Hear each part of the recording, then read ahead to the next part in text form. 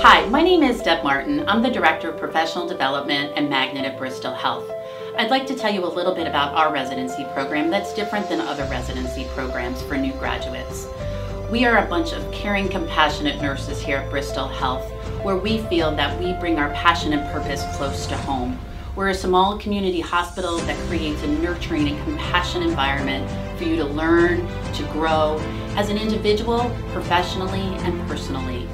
Our monthly long series that lasts for about a year, um, you will be exposed to various lectures and on-site um, educational opportunities to, again, grow and nurture your nursing career.